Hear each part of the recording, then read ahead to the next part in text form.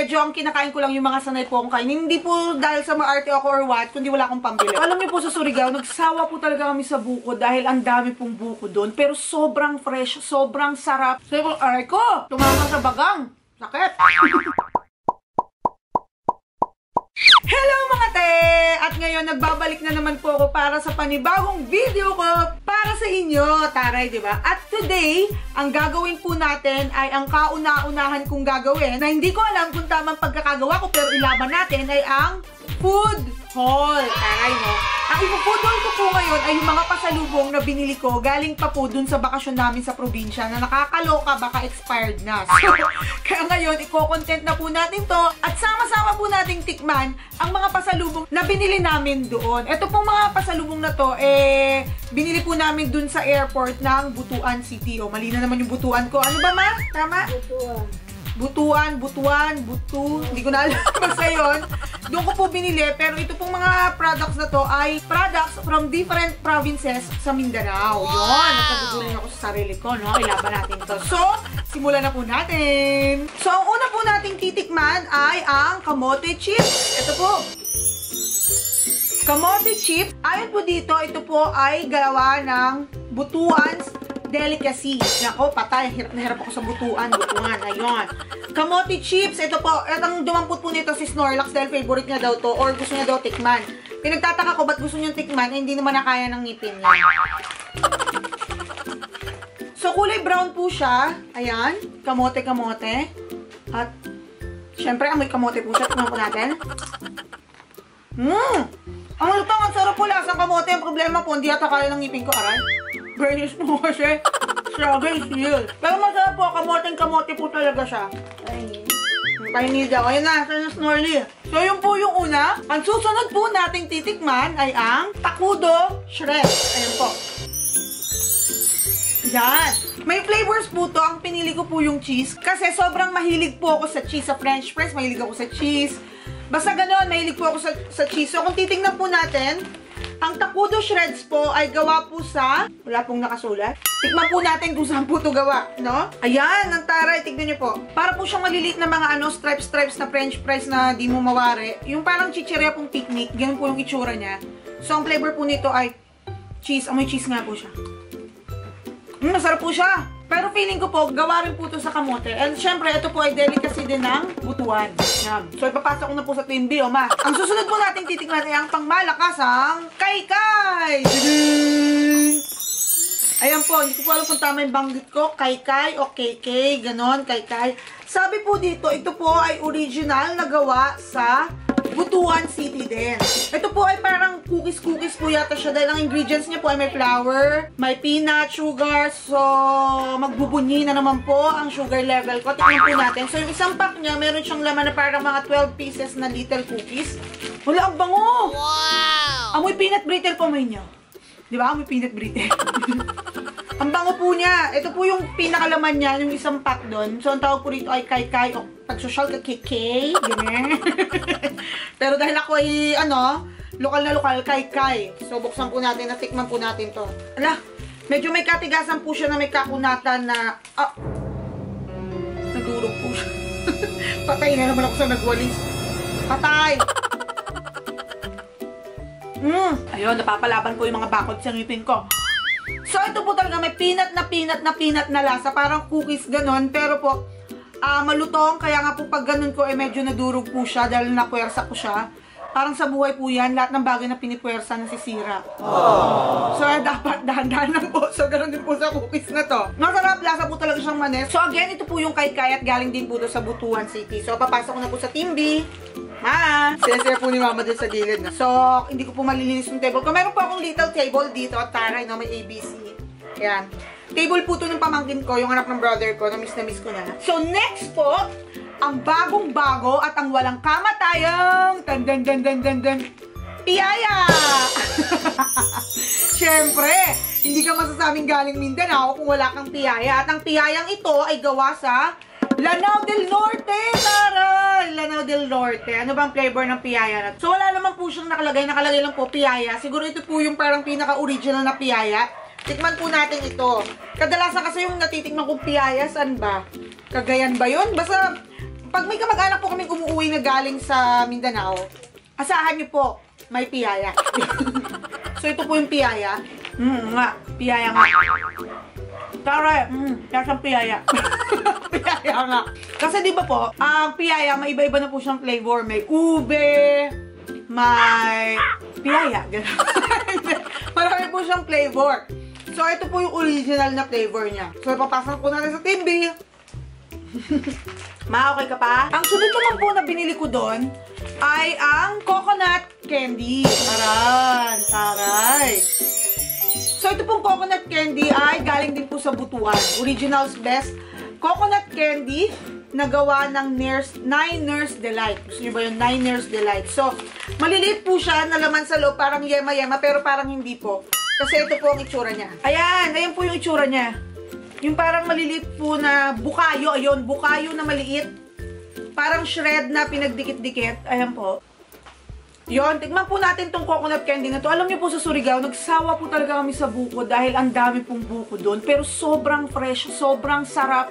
Iba-ibang klase na tikman po namin doon. Meron yung natural-natural, tapos may natikman kaming manamis-namis. Merong medyo matanda na, medyo bata, meron din namang hinaluan ng gatas. Basically, buko lahat. Iba-iba lang yung timpla. So, ito po yung coconut candy. Ala, ang sarap po! Para sa buko na kinayod, tapos nilagyan ng, ng ano, ng aso-asukal, ganyan. Alam niyo, super challenging po sa akin ng food haul. Kaya ito, mga subok-subok na practice lang, kasi nga po, medyo ang kinakain ko lang yung mga sanay po akong kainin. Hindi po dahil sa maarte ako or what, kundi wala akong pambili. Hindi po. Hindi po ako ma-explore sa pagkain. Pero lately, natututunan ko na po, lalo nung umuwi kami sa probinsya, kasi wala naman akong no choice, syempre, kailangan para ma-embrace mo yung culture nila doon, kailangan mo tikman yung pagkain nila. Ang next po natin ay syempre, itong Mindanao. Mawawala ba naman ang otap? Ayan, otap po ito. At itong otap po na to ay ang durian otap. Sa sobrang tagal ko pong hinol, naubos na po. Tinira po ng tinira ng papa ko, ni Papa Saydak. So, siya po yung kumain, tinira niya lang po ako ng isa pang food haul. Kaya, ayun. So, syempre, kung durian siya, galing siyang Davao City! Amoy natin? Ah, hindi naman. Nakala ko kasi pag durian, eh, amoy durian din. Pero hindi, amoy otap pa rin po siya. Mas nangingibabaw po ang pagiging otap niya. So, ito po.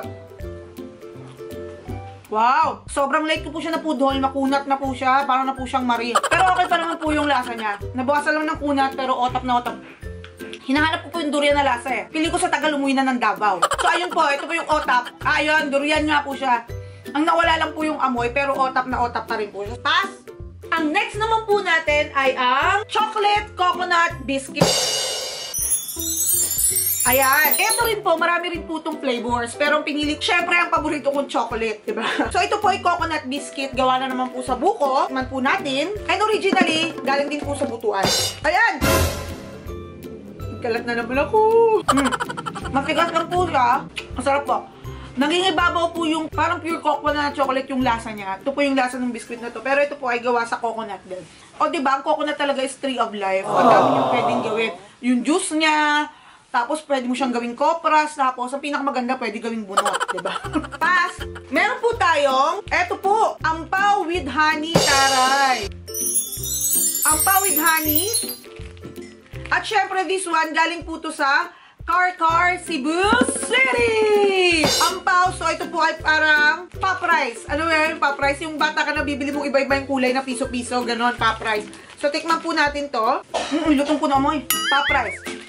Ang lasa niya po talaga ay pop rice na manamis-namis lang siya na extra close sila sa isa't isa dahil may honey po siya. Mamaya, maghahanap na naman po kami ng toothbrush kung saan sisingit itong mga butil-butil na to sa ngipin. Pass! At syempre, hindi po mawawala itong pulburon. Wow! Diba? Bagong-bago. Wala na ito sa Maynila. Itong pulburon po na to ay nanggaling naman sa... So, ito pong pulburon to ay galing din po sa Davao City. Ayan. Yan. Tingnan po natin kung may flavor. Wala naman po siyang flavor na nakalagay, pero ang sabi po, special pulburon. Iba po talaga pag special, mas masarap. So, tingnan natin kung ano ang sarap ng special pulburon na galing sa Davao City. Pasensya na po kayo kung pakonti-konti lang ako tumikim kasi halos lahat po ng pasalubong na nabili namin ay matamis. Eh, ang lola nyo po ay medyo nag-iipon ng sugar level. So, kaya, control-control. Wow, ang sarap! Ang sarap ng pulburon mo. Parang pinong-pino pag kinain mo siya, parang, ah, Ganun. may suntok po na ganun yung pagkain ng pulburam. So, syempre, binili po siya nang may mga kasama siya. So, magbubuni na naman po ang mga kapitbahay namin. Dahil, alam ko na po ang gagawin ni Snorley dito. Ganyan po si mama eh. Pag mayroon siyang marami-rami mga bagay-bagay na ganyan, sinishare niya po. Di ba po yung mga dati nagpapadalang unboxing? May part po talaga doon na ipapart niya na ibigay kina ganito. Diba sa mga friends ko, kila Francis, kina Kara, and all. Tapos may mga part na share niya rin sa iba. Si mama po ang bahala doon. Piling ko sa kanya ko nakuha yung pagiging ano, yung, yung giving, yung madaling magbigay, ganyan. Ma'am. At syempre, ang last but not the least ay ang pangmalakasang special tart. Taray, no? Itong tart po na to ay nanggaling naman sa Cagayan de Oro. Taray, ayan po yung tart na galing sa Cagayan de Oro. So, binili ko po to doon. Tikman po natin kung anong laman. May iba-iba po siyang flavor. Meron siyang durian, yema, at langka. Wow, pagbukas naamoy ko na po. Naamoy ko po yung durian. Feeling ko to ito yung durian. Ang tigas kasi, alam niyo na palaban ako sa puduhol na to dahil yung ngipin ko po bagong adjust lang, kaya medyo masakit pa. Lahat naman po ng mga pagbabago masakit. Ito nga po yung durian tart. Kahit po yung pinaka-base niya, medyo masarap po, o diba? Gusto niyo ba yung nag-aalam master chef ako? Ayan, tapos yung pinakalaman niya po, hindi po katulad ng ibang tart na nasa gitna lang ng konti. Ito po parang mas maiksi po, mas manipis po yung borderline. So, yung aray ko, tumama sa bagang. Sakit. so, ipapasa ko na po. Yehey! Matikman ko na lahat ng pagkain. Yehey! Excited po si Mama dahil dito na po nagtatapos ang aking food haul sa mga pasalubong na binili namin sa Mindanao! So naitawid ko po itong food haul na to, shinare ko po sa inyo dahil excited na excited po akong bilhin yun nun. So basically, lahat po ng binili ko, mura lang po siya. Karamihan po doon, nabibili po siya yung mga bagong-bagong package na isang daan tatlo. Ganyan. So ganun ko po siya nabili. At syempre, ang masasabi ko lang po sa inyo ay talagang every once in a while, maganda po yung nagta-travel. Lalo may mga murang promo naman. Para syempre, para makahinga-hinga kayo at mag-isip-isip. At syempre din po, iniinganyo ko po kayong bumili ng mga pasapasalubong. Hindi lang naman po dahil sa para may extra gastos or what. Kasi tulong nyo na rin po to dun sa kabuhayan ng mga tao dun sa probinsya pinanggalingan nyo. Katulad po nito, natikman nyo na yung produkto nila, eh nakatulong ka pa sa kanila, di ba? That's the act of little kindness na pwede natin gawin sa ibang mga tao. Isipin nyo na lang, natulong nyo na din yun sa kanila. At the same time, mapapasaya nyo pa yung mga tropa nyo, katrabaho nyo, yung mga boss nyo na nagpaalam kayong sick leave, pero nagbakasyon kayo, di ba? na may pasalubong kayo. So, yun lang po ang masasabi ko sa inyo. Maraming maraming salamat po sa pagsama nyo dito sa whole trip namin, sa bakasyon namin, sa hometown namin, sa probinsya. Ah, maraming maraming salamat din po sa patuloy nyong pagsuporta sa akin sa panunod ng mga videos ko. At huwag nyo po akong kalimutang i-subscribe sa YouTube channel kong Almira Shield, Instagram, Facebook page, Twitter, Almira Shil. Sa mga nagme-message po sa akin sa Facebook, dun sa personal account ko, medyo hindi ko po siya nababasa dahil marami-rami po siya. Mas may chance pong nababasa ko yung mga nasa Facebook page pagka hindi po ako nag-edit, ganun ganun. Pagpasensya nyo na po kung hindi po ako nakaka-reply. Para yun, dahil ang lola nyo, data lang at nakikisagap ng wifi. so, ayun po. And again, Maraming maraming maraming salamat po sa walang sawang suporta nyo. And this is me saying, spread kindness! Bye! Huwag si Snorla! Huwag nyo na siya kalimutan. Bye!